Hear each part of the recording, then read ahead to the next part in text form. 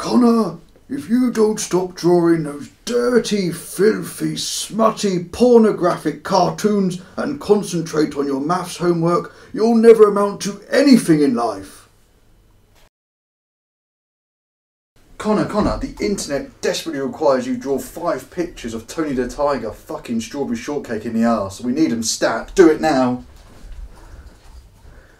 If only I'd paid attention in maths class, I'd know what five was.